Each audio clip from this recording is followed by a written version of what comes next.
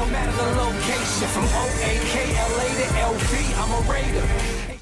Raider Nation, what's going on? You are watching the Raiders Report. Today's show, and this mustache is provided by Manscaped. Head on over to manscaped.com slash Raiders, where you can save 20% off and get free shipping on the best male grooming products out there. I was live on Chat Sports. Somebody said, hey, 100 bucks, you can shave your entire face and rock a mustache. I was like, you know what, man? Hell yeah, free mustache rides from here on out. Coming up here on today's show, we're going to be breaking down the entire Raiders draft from the 2021 class, and I'm going to give you my grades on it. The first overall pick, number 17 overall by the Las Vegas Raiders, was Alex Leatherwood. When I first saw this pick, and I know a lot of people out there were like, oh man, I don't know. I'll be honest with y'all, I panicked. I didn't really like it in the beginning. He was my number six offensive tackle. I thought he was the 32 overall prospect for the Raiders to take him where they did, I was like, man, I think it's a little bit of a reach. I'm just going to tell y'all right now the way that the rest of this draft ended up falling. I am way more okay with this pick for the simple fact of this.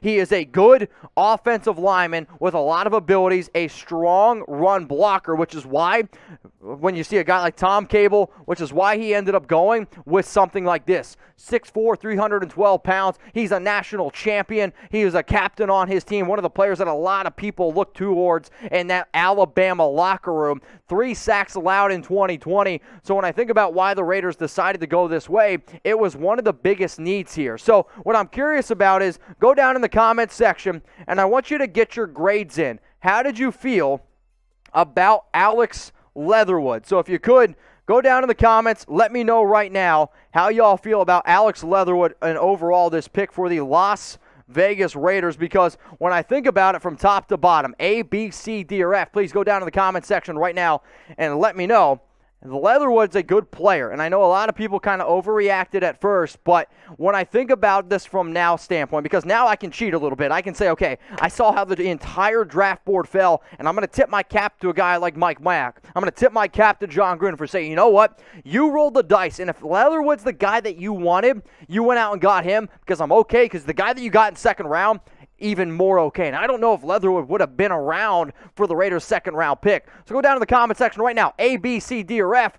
I'm going to give this a B minus grade. Remember, I am a tough grader. A is it's a great pick. B is it's a good pick. C it's an average pick. This is an above average pick in round one. I saw a lot of people saying it reminds me of Clelin Ferrell. Not quite.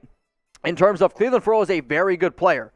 Alex Leatherwood, very good player. Did they reach on him a little bit? Sure, they did. It kind of reminds me a lot of Colt Miller. Leatherwood might not be the best tackle year one. That's okay. If we're looking here two, three years down the road, and he's as good as what Colt Miller is right now. You have Colt Miller, Alex Leatherwood. Yeah, I'm okay with that. All right, y'all. So if you want to know everything going on with the Las Vegas Raiders, hit that big red button that says subscribe. Make sure you don't miss a video. Turn on those notifications. The die-hard Raider fans that are watching the Raiders sport in the offseason, those are the dudes that I like to get down with. So if you bleed silver and black, if it's in your veins, if you got it tattooed on your arm, go ahead and subscribe. Once we get to 100,000 subscribers, there's a little birdie. I'm going to give it two Chucky heads. I might get a Raiders tattoo. All right, let's go to round two. Pick number 43 here. The Las Vegas Raiders had to trade up to get Trevon Moehrig, the top safety in this year's draft. I was surprised at Jevon Holland. I was surprised at Richie Grant right in front of him.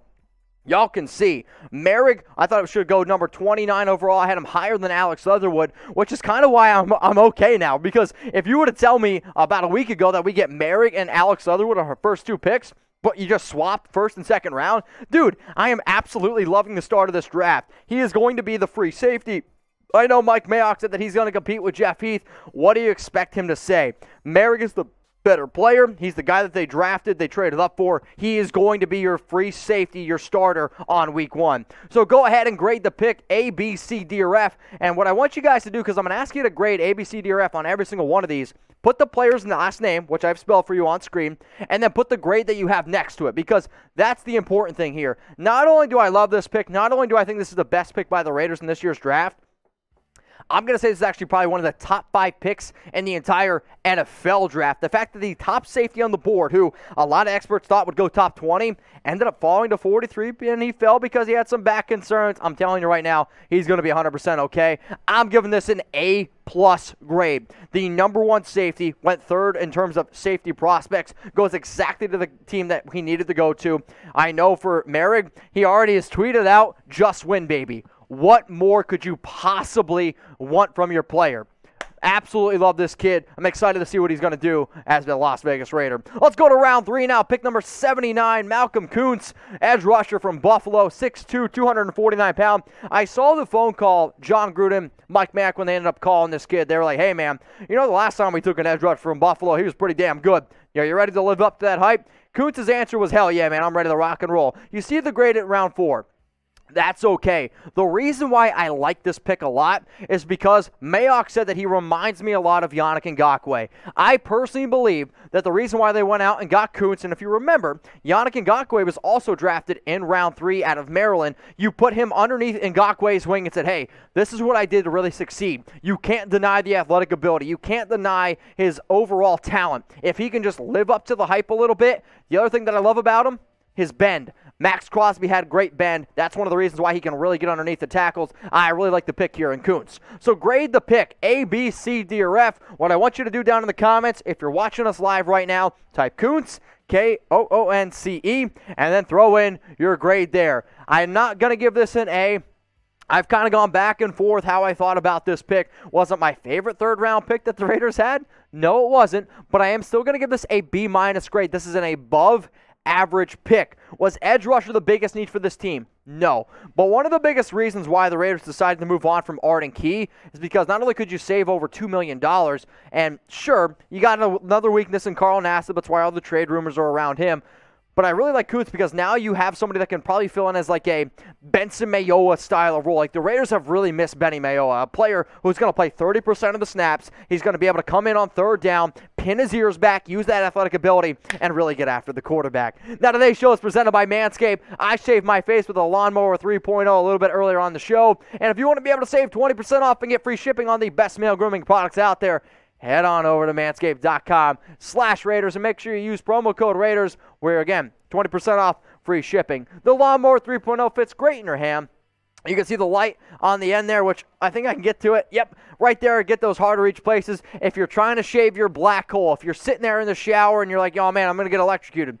No, you're not. This thing's waterproof. An 8 hour battery life. There is not a better tool to use than the Lawnmower 3.0. If you don't believe me, I will send you the video myself of me shaving my face with this bad boy on Chat Sports. Head on over to manscaped.com slash Raiders. 20% off and free shipping on the best male grooming products out there. Who wants some double D's? You want some double D's? I got it for you. Divine Deablo safety from Virginia Tech at 6'3", 226. Wow, that's a big safety, but you see that grade right there? Second and third rounder, number 69 overall. I want everyone right now to start spamming nice in the comments section. This is a player that when he got drafted by the Raiders, Tom literally just shouted, wow, that is an absolutely phenomenal pick. 55 tackles, four interceptions, four pass breakups for Deablo. Now, the reason why I'm really excited about him is because of the fit here. You see the size, 6'3", 226 pounds, the 4.44 40-yard dash. He is a big dude who's really able to get after it. Now, the comp that I'm going to throw out there, I don't see him being a Kam, Kam Chancellor in terms of the right athletic ability and comp, but Gus Bradley, when that defense, the Legion of Boom for the Seattle Seahawks, was at its best, it's when it had a guy like Earl Thomas, Kam Chancellor, Richard Sherman. I don't think they have their Richard Sherman, and I don't really know if they have their Earl Thomas, even though I love Moehrig a lot. But the guy that the way that I think they're going to use somebody like Deablo is a lot like the same way that they use somebody like Kam Chancellor, where he's going to play safety, he's going to play a little bit of a linebacker hybrid. Plus, this is going to allow a guy like Johnathan Abram to really come up and just plow through that box. Giggity. So grade the pick here of Deablo and it's spelled D E A B L O, I believe is the, the correct way to spell it. I was trying to put things together quick. I was excited. So go down in the comments right now. Let me know A, B, C, D, or F. I want you to grade the pick here for Divine Deablo. I'm going to give it an A minus grade. I mean, this is a above average pick. It's a above a good pick. I would almost say it's a great pick. I know this hasn't been a player that I've talked a lot about on the Raiders report, and for that I apologize. Right? We were talking a lot about a other a bunch of other safeties because I thought the Raiders were going to go with like a nickel cornerback safety hybrid slash somebody that they could just put at free safety. And the guys at free safety that we talked about were Moehrig. You know, we talked about Moehrig. We talked about Richie Grant, who ended up going in front of him. Divine Deablo was a name that I wish I would have brought up a little bit more. Maybe once or twice I did. However, it's a really good pick here for the Las Vegas Raiders. Now, the Raiders also traded up for another safety Tyree Gillespie, safety from Missouri. Gillespie, round four, pick 143, number nine safety overall. So it's pretty interesting the fact that they ended up taking, realistically, three safeties with, well, their top five picks. 5'11, 207 pounds on number 11, wait, 111 overall, a fourth round grade. The fact that he fell to 143, the Raiders were really excited. That's why they ended up trading pick number 162. They also traded pick number 200, 46 tackles, didn't have any interceptions his entire career, four pass breakups. But what I want you to do, go down in the comments right now again and let me know what you're thinking. He's not really going to be a free safety in this off, in this defense. That's not how he's going to end up being. But he also played a little bit of free safety. Played some slot as well. He lined up in the nickel, but he's really going to be somebody who's really going to try to just like play a just get after the quarterback type role. He's a good run stopper. I am curious to see how he fits. I do think that the fact that they went out and drafted Divine and a guy like um, you know, Tyree Gillespie is bad news for somebody like a uh, Tanner Muse. It's bad news for somebody like an Isaiah Johnson. But A, B, C, D, or F, let me know down in the comment section what you're feeling. This is an A minus grade for me. Again, another player that I liked a lot. I like the value here. I am normally team trade back, but I've always said I am a man of value. If you think that you can get some solid value here, you go ahead and do it. And if a player that you have ranked is like 110 and he falls down to 143, dude, I don't know about you. That spells out value to me. Now, this next pick wasn't as crazy about. Cornerback from Illinois, Nate Hobbs, round five, pick 167. As y'all can see, he was our 40th ranked cornerback. Overall value of 278. The grade is the seventh overall pick. He had 31 tackles, one interception, two pass breakups, but this is one of those players that I'm actually not too crazy about. Now, did he test well? Yes, he absolutely did. I loved his vertical. I loved his uh, short run. I, I mean, I, I love what he brings from an athletic standpoint. And if you just look at his pro day numbers, which maybe Mayock Gruden and Gus Bradley did, you're going to be excited. But if you go watch the tape, he gets burnt way too much, and he's, I believe, giving up a completion percentage of like 86%. That does scare me a lot because I think we can all realize we're sick and tired of seeing cornerbacks get burnt here by the Las Vegas Raiders. So grade the Hobbs pick. A, B, C, D, or F. I think I've actually done a pretty good job so far. I don't know if I've given a single C, and no, I haven't given a single C grade yet. However, here's going to be my first C grade, and I don't really like to be the guy that gives a C grade on round five, but when you take somebody that I believe is a little bit below average of where he should have gone, that's what's going to happen. Does he actually have some high upside, though? Yes, I do. Is he going to be a pretty solid a special teams player? That's where I believe he makes his biggest impact because when you look at his speed, when you look at his ability to really be able to get after, you know, the people or the quarterback or whatnot, especially going down the field, that would be great. Also, Jeremy, if you could fix the lower third that you're about to show real quick, it's literally just Autumn Abyss, no code. So if you get rid of that real quick, that would be uh, greatly, greatly appreciated there. And uh, we'll, we'll see if we can get that one together. But for grade the Hobbs pick, a, B, C, D, or F, if you guys please could.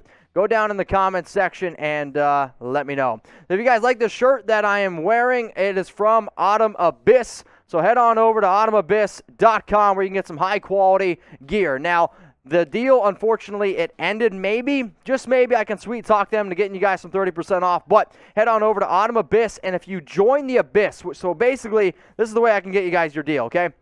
If you join the Abyss by going to autumnabyss.com, you click the very first button that you see, it says, I believe it says join the Abyss. You can get 20% off and get you guys hooked up on deals. The reason why I love this company is because if you guys like shirts that feel like Nike Dri-FIT, it's the highest quality shirt that I've ever worn in terms of a Raiders t-shirt. Plus, they also give back to foundation. So if you want a Tom Flores hoodie, you can get a Tom Flores hoodie plus all the uh, money proceeds also goes to help the Tom Flores Foundation. They also have a proceed in terms of like helping kids in Oakland, the Bojack. Like they have so many different awesome quality t-shirts. Please go ahead and check them out. AutumnAbyss.com and tell them Mitch sent you. All right, the last pick here, round seven, pick 230 overall.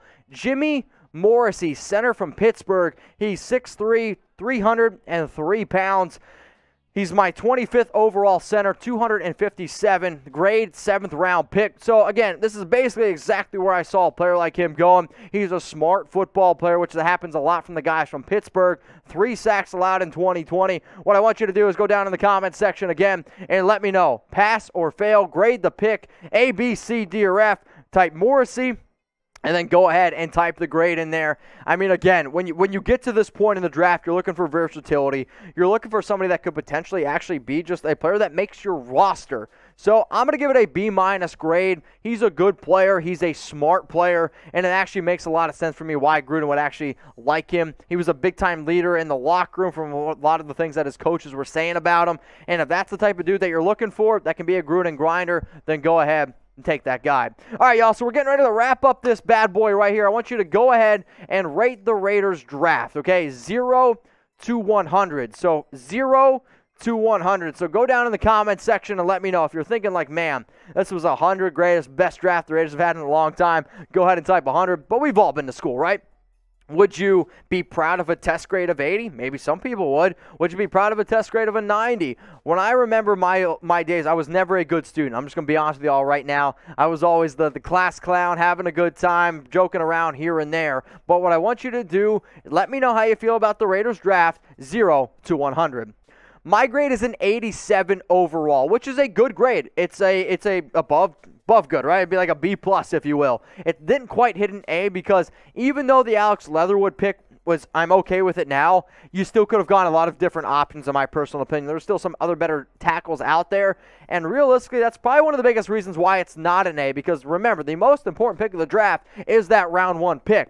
The Raiders, though, they didn't quite go the right direction. They also went a very, very heavy in that defensive backfield, which explains exactly how a guy like Gus Bradley feels about a lot of the players that the Raiders drafted last year and the year before that. You're going to see a lot of competition, which I am very, very excited to see. So it's just another reason to subscribe to the Raiders Report because we're going to be breaking a lot of stuff down in May, in June, and July. Just because it's the off season, we're still going to be keeping you guys updated on videos every single day. Raider Nation, go ahead, type down your grades in the comment section below.